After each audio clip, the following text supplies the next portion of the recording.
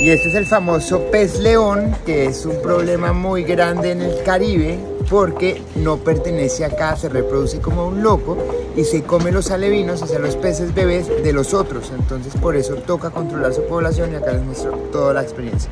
Con Mr. Axel, que fue el cazador oficial.